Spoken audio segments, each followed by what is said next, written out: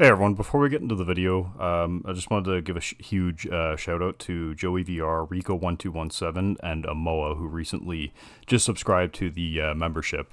I don't really advertise it at all. I don't ask people to subscribe or anything. Um, it's definitely not necessary, but when people do, it's definitely appreciated.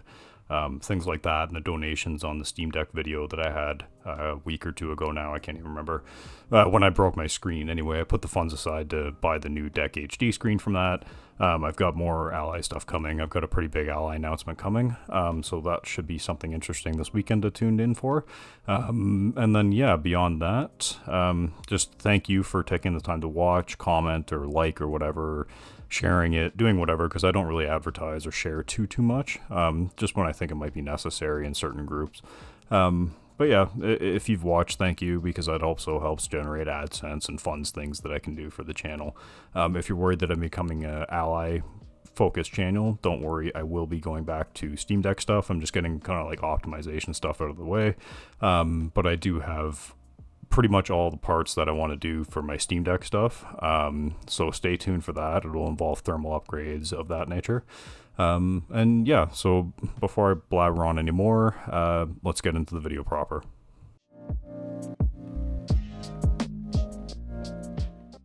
Alright, before we get into all the testing, I just want to say that all tests were done at 1080p, 30 watt, uh, 720p, 1080p, tested three times each uh, CPU boost on and then three times each CPU boost off. And then the FPS averages were averaged out with those three runs, but the clock speeds and the temperatures, they were put as just the runs and what they were for the averages. Uh, so as we can see here, getting into Borderlands 3, we had a 2830 to 2837 kind of range there. And then for uh, CPU boost off, we had 2845 to 2861. So we can see that with CPU boost off, running 720p, we were getting a higher clock speed average with CPU boost off. Now moving over to 1080p, we can see that we kind of flipped and we are getting lower averages with CPU boost off. 218 or 22819 to 2827 uh, to 2796 to 2814. You can see the range there. I won't rhyme them all off, don't worry. Um, so then we can see here 720p uh, FPS averages, uh, CPU boost on and off. Uh, so we can see here the CPU boost off did actually upgrade our uh, FPS average. And remember, this is a three average run. Uh, but our 1% lows actually were a little bit worse, but our 0.1% lows were a little bit better. So I would say, yeah, you know, that CPU boost off in this instance did do a little bit better of a job. Now, going over to 1080p, it kind of balanced out, but we can see here the CPU boost off at the 0.1% lows did a little bit worse, and the average was technically a little bit worse, but nothing within margin of error, nothing like the 0.1% low difference. Now, moving over to temperatures, or sorry, this is the, uh, yeah, sorry, temperatures, my apologies, for 720p, we can see it was just 7 point, or 73.3, and then 73.3, 73, there is honestly no difference. And you'll find with the temperatures, there is honestly no difference with any of these pretty much. Now moving over to Call of Duty Modern Warfare 2, we got 720p, uh, FSR quality, or uh, yeah, FSR 2 quality with the minimum preset. So we can see here, same thing, 30 watts CPU boost on and off. So our CPU clocks were actually uh, pretty well the same. They were a little bit higher on CPU boost off by about 20 megahertz there. Um, going over to 1080p, we can see it's a similar sort of thing that they actually were higher with CPU boost off. And I did double check these, I wasn't mixing these up. Um, so going over to FPS now for Call of Duty, we can see that we got 98.9 and 96.2. And then for the 1% lows, we can actually see that we got better with CPU boost on. So I would recommend that in that case. But again, it's uh, little like it, it's still over 30, so you're going to have a good experience either way, to be honest with you. Um, and now going over to CPU boost on and off, or for our uh, Call of Duty Modern Warfare 1080p, we can see they got 72.7, 73.3, or 8, my apologies. And then, yeah, honestly, they weren't too far off of each other. So technically, CPU boost off did a little bit better, but honestly, margin of error is only 1 FPS less than. Okay, now we can see here going to temperatures. Again, same thing, 73 across the board, 73 across the board there's yeah the the does nothing for temperatures in these instances and i'll explain why in a bit. Um, so going over cyberpunk we have you can see here it's kind of stepping up a bit but the going into cpu boost off when 720p it was higher Same thing, uh, going over to 1080p, we see that CPU boost on and off, they were a little bit more in line with each other this time. They There was the highest run with CPU boost off, with the 2049, but still, it's, yeah, pretty neck and neck there. So now going on to our FPS, we can see it's pretty much the exact same thing, uh, within margin of error, less than 1 PF FPS difference uh, between the two, the 1% lows, 0.1% lows, and then not even 0.2 of a difference. So, and then going 1080p, we can see that uh, 41.8, 41.3, and yeah, the only thing here is with CPU boost off in 1080p, we did get worse 0.1% lows uh, with it off again. Now going over to the temperatures, 74 across the board, yeah, 70, uh, sorry, 75, 75, and then a 74.9, so nothing to write home about there. Going to Gears of War 5 now, we can see that we have a 2032 to 2076 range, but then CPU boost off did produce higher averages on CPU clocks. Going 1080p, we can see that they did kind of even out, and now CPU boost on did give us higher average clocks. Now going over to CPU boost on and off again for uh, the aver FPS averages, my apologies. Uh, we can see that uh, 65.2, 65, it was all pretty much the same, but again, the 0.1% lows for CPU boost off were lower than the boost on. Going over to 1080p, we can see same thing, the 0.1% lows were lower, but the 1% low this time was actually significantly higher, and the FPS average was only higher by 0.2, like not even, so yeah, going over to temperatures, we can see 76 across the board. And then going over to temperatures again, uh, don't know why that one's so short, but 76 across the board again. Uh, now going over to Hitman 3, we can see that uh, CPU boost on did produce higher averages and then CPU boost off. That's because Hitman 3 in this instance is a very CPU intensive game in this uh, benchmark scenario, uh, especially in game as well because there's a lot of like simulation stuff going on. So now going over to 1080p, we can see that it did switch though this time to CPU boost off, producing higher clocks this time around. Now, going over to FPS, we got 62.2 with CPU boost on, and then 61 with CPU boost off. Pretty much neck and neck, honestly. Uh, we did get higher 0.1% lows by 2 FPS, not even, on uh, CPU boost off, but honestly, difference is negligible. Now going over to the uh, Hitman 1080p, we can see 44.9, 44.6, same thing, difference is negligible at best. Now going to the temperatures, 73 across the board. Now this time we did get 74, but uh, that was just an outlier, 73, 73. So pretty much no difference. Now going over to 1080p, 75 through 75 and 75 through 74. So yeah, same thing, no difference.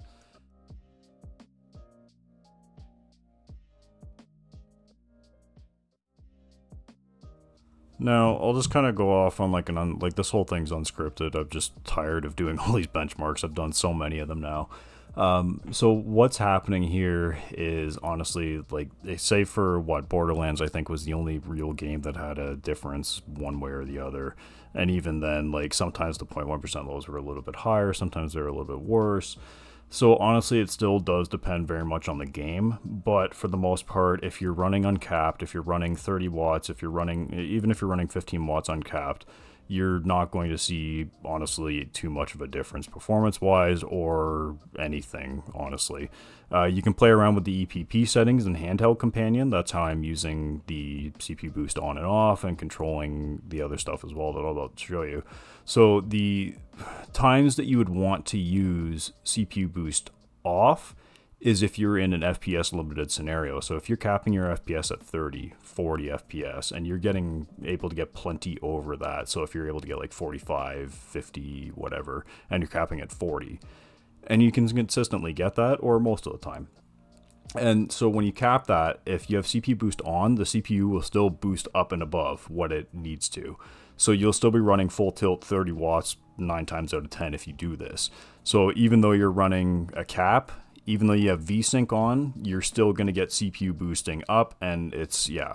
So now if you turn CPU boost off in these situations, it will significantly reduce your power draw. And I'm showing this here in the Spider-Man footage in the background. So you can see with the CPU boost just straight off, it'll reduce your power draw. I think it was between like the range of 14 to 17 watts I was seeing. Um, now, what you can also do if you have handheld companion is you can go to auto TDP and set an FPS limit range there. So what that will do, and honestly, with CPU boost on and off, there was no difference whatsoever in my observation of the power draw. Really, like I could do further testing, but it didn't seem like there was too much of a difference, performance-wise or anything, between the CPU boost on and off. Just my quick testing. But anyway, so if you go to the auto TDP and I set a 40 FPS or no, sorry, 30 FPS limit, um, you can see that we dropped our wattage down to like 11 to 14 watts at times. So it was even less than doing just straight CPU boost off. So my recommendation, honestly, is just leave CPU boost on all the time. And then if you're going to like if you if you're the type of person to limit your FPS to 40 FPS to save battery or whatever, use Auto TDP. So download Handheld Companion. I'll leave the links in the description. Use Handheld Companion, and it's self. It's super, super, super easy. like self install everything. You're good to go.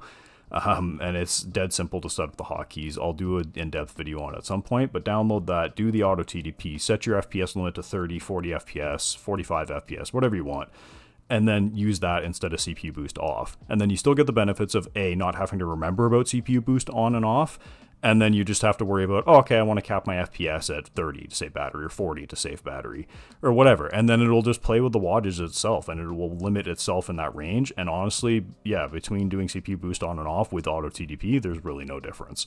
So, and you're going to save more battery power that way. So my recommendation would just be using auto TDP um, unless there's something wonky in certain games and you are going to instill an FPS cap, then you can use CPU boost off to save that battery power as well, but it likely won't save as much as the auto TDP function.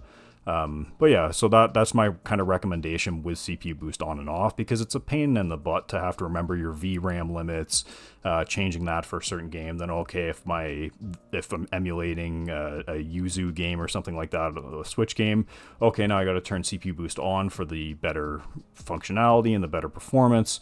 Uh, so it's just a lot of things to remember, like game wise, and it's not really kind of auto set up that way to flip back and forth. Uh, with uh, CPU boost on and off with handheld companion, you can set profiles so that can go back and forth. But I mean, like the VRAM and stuff like that, and even just remembering to set a profile, it's just honestly easier to set an FPS limit through the auto TDP, in my opinion.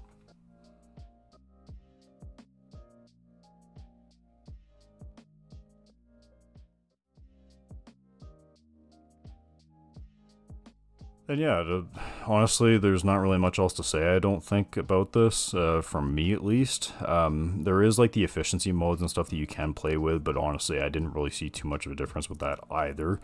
Um, I, will play with it on my own time and just see, but I've got other stuff planned too, and I'm just kind of tired of doing the CPU boost on and off.